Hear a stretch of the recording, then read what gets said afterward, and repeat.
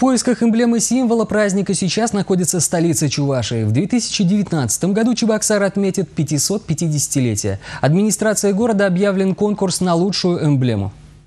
Участвовать в нем могут как дизайнеры, архитекторы, художники, студенты творческих вузов и училищ, так и просто желающие. Главное требование ко всем – разработать такую эмблему-символ, в которой будет ярко отражена идея празднования 550-летия Чебоксар. С условиями конкурса можно познакомиться на официальном сайте администрации столицы. Там же потом выставят все работы и откроют голосование. Жюри подведет итоги 30 сентября этого года.